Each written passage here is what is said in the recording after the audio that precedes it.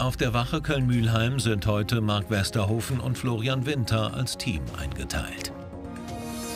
Ja, hallo. Wer bist du denn? Ich bin Finn Wegner. Äh, ich suche meine Mutter, Marie Wegner.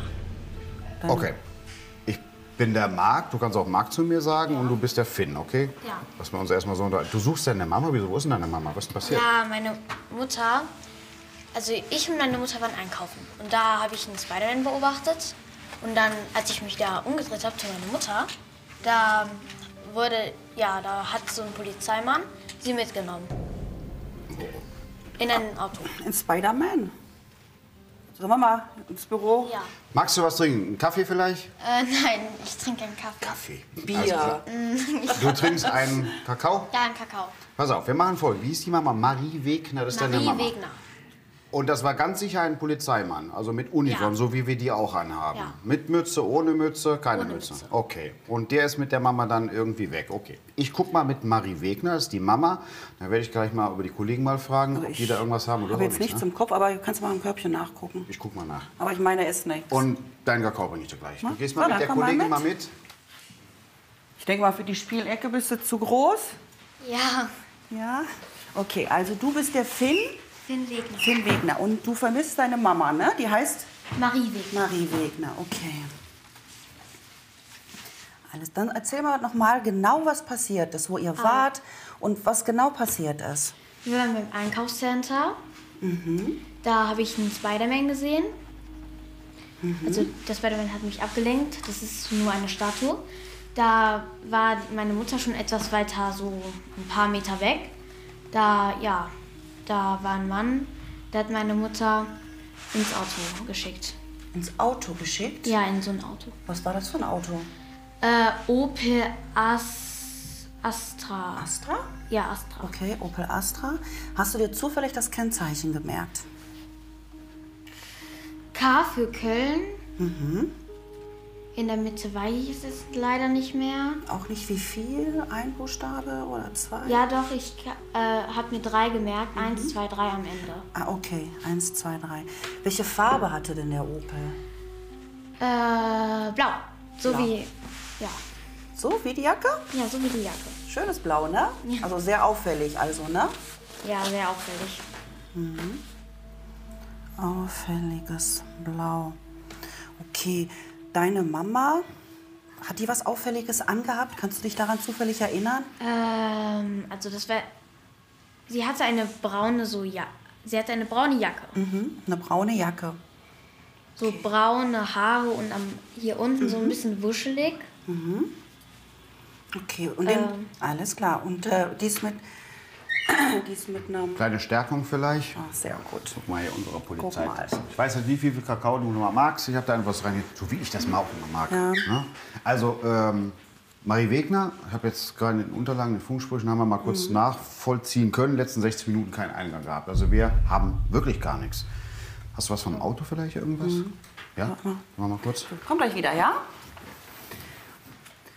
Also er sagt es, also muss ein auffälliges Blau sein, ein Opel Astra. Die einzige Spur zu dem Täter in Polizeiuniform ist das Auto. Anhand der Informationen sucht Florian Winter das Polizeisystem nach dem Wagen ab. Da haben wir einen möglichen Treffer.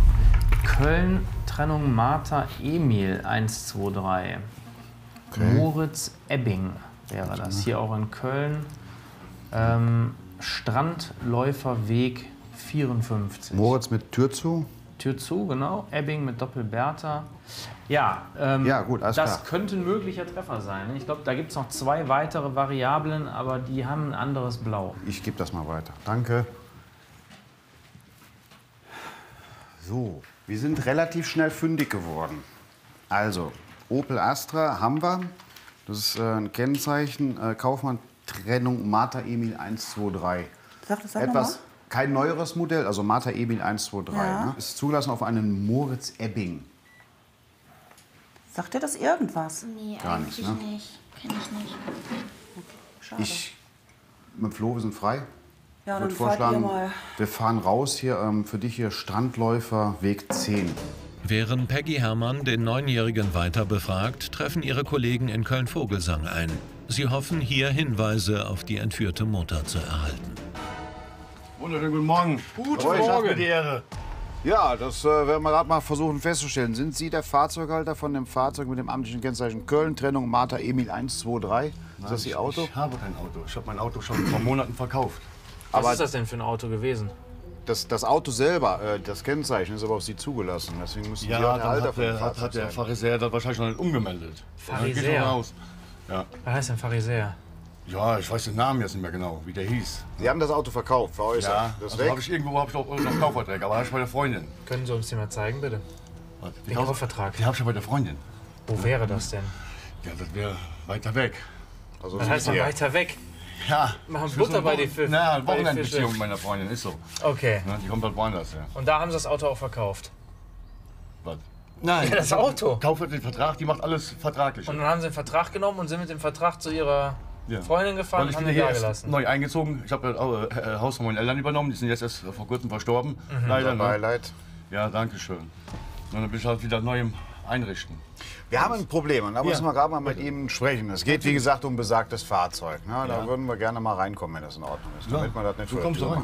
Ja. Ja? Putzen uns auch die Schuhe ab und alles gut. Ne? Dankeschön. Das versauen wir ja alles. Wo sollen wir hin? Geradeaus. Wohnzimmer? Wohnzimmer, geht das? Ja. Gut. Wir Ähm, haben nämlich Hinweise darauf, dass mit Ihrem Fahrzeug Straftaten begangen worden sind. Das ist auch der Hintergrund, warum wir jetzt hier sind. Wir kommen ja nicht vorbei und fragen Sie, ob Sie Ihr Auto verkauft haben, sondern wir haben konkrete Hinweise darauf, dass mit Ihrem Fahrzeug Straftaten begangen worden sind. Da können Sie uns nichts zu sagen, wo Nee, das ja Fahrzeug sich sagen. Wie aktuell gesagt, das Auto vor. Monaten verkauft. Die Beamten zweifeln die Aussage des Mannes an. Sie vermuten, dass er mehr weiß, als er zugibt und lassen nicht locker. Können wir uns hier mal umgucken, Ja, mal ein bisschen. selbstverständlich. Schauen Sie, gehen Sie oben gucken. Nur wie gesagt, Alles zu Ihrer Entlastung. Am Fuhrwerken, ne? alles meine gut. Eltern sind verstorben und mir, ich habe halt einen anderen Style wie meine verstorbenen Eltern. Hatte ich jetzt auch so vermutet, weil diese Wohnung macht nicht den Eindruck, als wenn. Vielleicht hätte ich mich auch ganz vertan. ja ne? ist sehr 80 Jahre oberflächlich, ist sehr oberflächlich, wenn man sowas sagt. Ja, ja. Aber wo, wo dürfen wir denn mal hin? Wollen Sie uns Wo Sie begleiten? Wollen, Oder? Wo Sie wollen. Ne, ich lasse Ihnen da freie Hand. Hast du auch irgendwie eine Vermutung? Hat die sich irgend mit jemandem gestritten vielleicht? So, eigentlich weiß ich hier leider nichts. Also ich habe nie mitbekommen, dass sie sich irgendwie gestritten hat mit irgendwen. Also eigentlich hat sie sich ganz gut mit jedem verstanden. Also deine Mama ist nett. Ja. Das so nett wie du wahrscheinlich. Äh, wohnst du denn alleine mit deiner Mama zu Hause? Ja, Also kein Papa? Okay. Ähm, war deine Mami in der letzten Zeit vielleicht irgendwie traurig oder so? also nö. Auch nicht.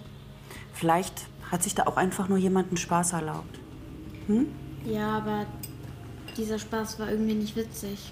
Das glaube ich, weil du nicht weißt, was los ist. Aber glaub mir, wir werden deine Mama auf jeden Fall finden. Hier ist nix.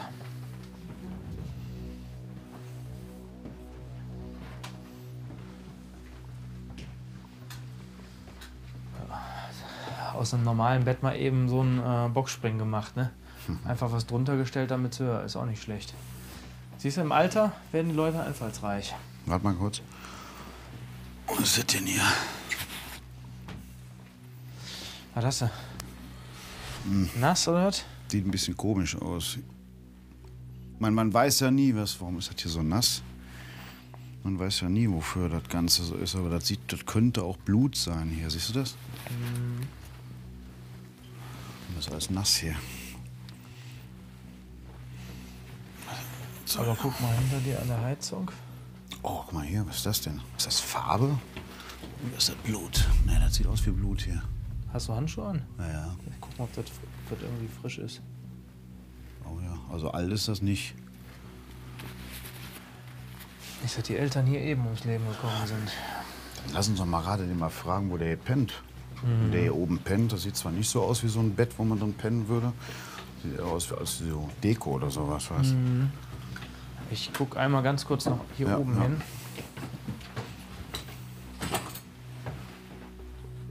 Ne, da ist alles gut. Ähm, ganz kurze Frage. Äh, hier im Schlafzimmer. Ja. Müssen wir uns gleich Sollen mal drüber unterhalten. Ja. Haben Sie gestrichen zufälligerweise hier in der letzten Zeit? Nee, ich habe eben ein bisschen aufgeräumt und habe dann äh, Ne, ne? Blumenvase umgeschmissen. Also Oh je. gestrichen haben sie nichts hier. Haben sich da irgendwie verletzt bei? Ich habe nicht so ein Talent wie Frauen. Haben sie sich dabei verletzt bei den? Kannst du mal ihre Hände mal gerade sehen? Gar nichts, ne? Wo war die Blumenvase denn? In welchem Zimmer? Im Schlafzimmer oben. Okay. Aber Sie rot, haben sich dabei nicht rot war verletzt. die nicht, ne? Nein. Oben ist frisches Blut. Daher. Das würden wir gerne von Ihnen ja wissen, weil wir haben auf dem Teppich, der erstmal nass ist, und da sind auch Blutanhaftungen drauf, genau wie an dem Heizkörper. Da haben wir auch Blut. Einmal bitte Ausweis. frisch. Der 39-Jährige beharrt auf seiner Aussage. Doch die Beamten stoßen auf weitere Blutanhaftungen. Sie erhöhen den Druck. Herr Ebbing, jetzt mal ganz kurz zur Sache. So wie sich das jetzt hier darstellt, stehen Sie im dringenden Tatverdacht, etwas mit dieser Angelegenheit zu tun zu haben. Sie müssen uns gegenüber sich gar nicht äußern, wenn Sie hier als Beschuldigter geführt werden. Nur es wäre natürlich schon zweckdienlich, wenn jemand blutet, hat er eine Verletzung. Bedarf es hier irgendwem um Hilfe? Können wir mal rausgehen? Ja, natürlich. Ja. Ich habe Was heißt denn dieses Ah? meinem Kumpel einen Gefallen getan. Ja, es ist natürlich so, wir haben die Möglichkeit hier ähm, der Datenweitergabe, das heißt, unsere Feststellungen können wir hier auch der Leitstelle mitteilen und das ist natürlich ein gutes, ähm, einen guten Vorsprung, den wir haben. Das heißt, wir geben der Leitstelle jetzt einfach mal eine Personenbeschreibung von dem Tatverdächtigen, der ja wirklich sehr markant aussieht. Und, macht Spaß? Ja. Mal's gerne. Darf ich euch beiden kurz mal stören? Ich habe über Funk eine Täterbeschreibung bekommen. Okay. Finn, der Mann, der deine Mutter mitgenommen hat, den beschreibe ich dir jetzt. Der ist ungefähr 1,80 groß, hat ein Tattoo im Gesicht, am Hals und auf der Hand, keine Haare, blauen Pullover angehabt und eine Jeans. Passt das? Ja, am Hals weiß ich es ist Ja. leider nicht so ganz genau, aber sonst passt eigentlich alles. Gut, okay, dann können wir da mal weiter forschen. Ich gehe mal wieder nach hinten. Ja, sehr gut. Möglicherweise stammt das Blut im Haus des Täters von der vermissten Mutter. Systematisch suchen dort Mark Westerhofen und Florian Winter nach der offenbar verletzten Frau. Pass mal auf. Alles voller Blut. Hey, leg den, leg den Hammer weg! Leg den Hammer weg! Hey, leg den Hammer weg! Ganz ruhig. Hey, tu den Hammer weg! Hey! Das wirst du nicht Polizei, tun. tu den Hammer Den weg! Hammer Schieße. niederlegen. Hammer weg! Den Hammer weg. Hammer weg! Lass den fallen! Lass den, Den fallen! Hammer weg. Den Lass Hammer ihn weg. fallen! Lass ihn fallen! Lass Den ihn fallen! weg. Lass ihn fallen! Geh hinterher, Marc, geh hinterher.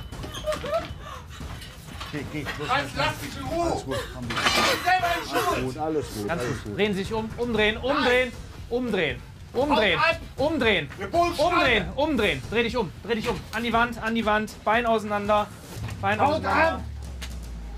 Hey, Arm raus, tun Arm raus, tun Arm raus. Arm raus. in Ruhe, hey, hinten. Ganz ruhig, bleib, bleib, bleib, ganz ruhig. Bringt jetzt nichts. blöde Kuh selber in Schuld, Mann. Ganz ruhig. Erklären, erklären, erklären kannst du das hinterher, okay? Erklären kannst du das hinterher. Alles gut, ganz ruhig. Ganz ruhig, ganz ruhig. Mal ganz kurz, ganz kurz, Marc. Die Hände verletzt, alles ruhig. Moment, stopp, stopp, stopp. Oh, okay, okay, okay. Okay, okay, das sieht, das, wir sind bei Bewusstsein, das ist alles gut. Alles in Ordnung. Nicht dran, nicht dran, nicht dran gehen. Ganz kurz erzählen, was passiert. Was ist passiert? Der, ich bin entführt worden und Und er hat mir mein Ex-Freund, der zugestimmt. wollte mich zurückhaben und hat dann zugeschlagen. Das ist der Ex-Freund? Das ist mein Ex-Freund. Okay, alles klar. Wo ist mein Sohn? Wissen Sie, wo mein Sohn ist? rausgehen? Ich muss Wir brauchen, wir brauchen eine ATW. Eine ATW. Kommen Sie mal raus. mit Kommen Sie. Komm mit, komm mit. Komm, alles gut. Alles gut. Ganz ruhig. Nicht da dran gehen.